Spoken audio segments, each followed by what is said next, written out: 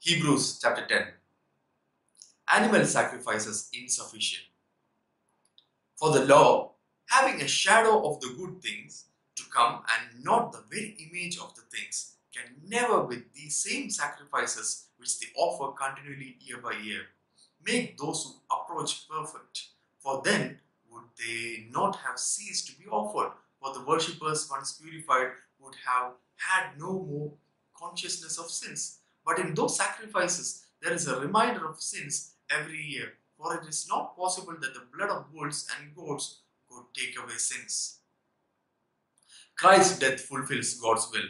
Therefore, when he came into the world, he said, Sacrifice and offering you did not desire, but a body you have prepared for me. In burnt offerings and sacrifices for sin, you had no pleasure. Then I said, Behold, I have come. In the volume of the book it is written of me, to do your will, O God.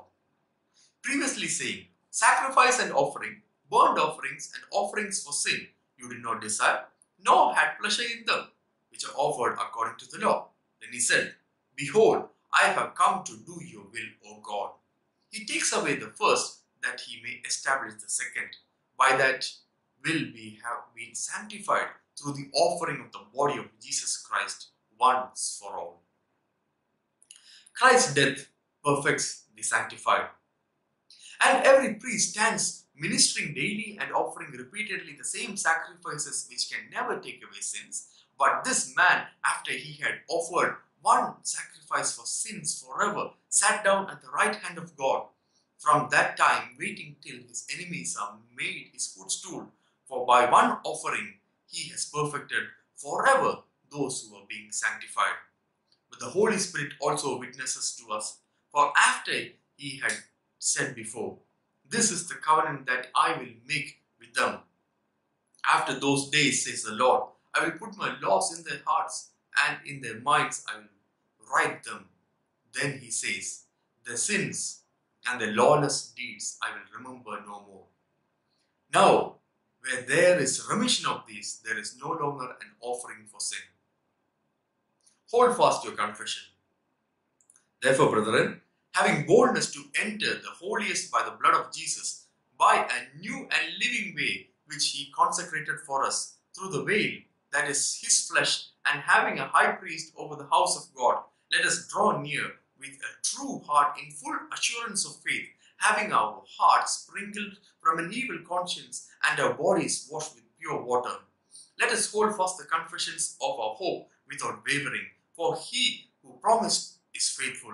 And let us consider one another in order to stir up love and good works, not forsaking the assembly of, our, of ourselves together, as is the manner of some, but exhort, but exhorting one another, and so much the more as you see the day approaching. The just live by faith.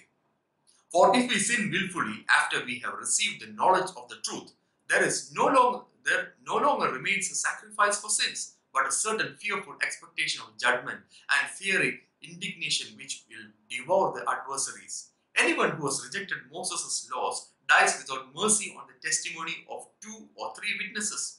Of how much worse punishment do we suppose will he be thought worthy who has trampled the Son of God underfoot, counted the blood of the covenant by which he was sanctified a common thing, and insulting the Spirit of grace? For we know him who says, Vengeance is mine, I will repay, says the Lord. And again, the Lord will judge his people. It is a fearful thing to fall into the hands of the living God. But recall the former days in which, after you were illuminated, with you endured a great struggle with sufferings, partly while you were made a spectacle both by reproaches and tribulations, and partly while you became companions of those who were so treated. For you had compassion on me in my chains and joyfully accepted the plundering of your goods, knowing that you have a better and an enduring possession for yourselves in heaven. Therefore, do not cast away your confidence, which has great reward, for you have need of endurance, so that after you have done the will of God, you may receive the promise.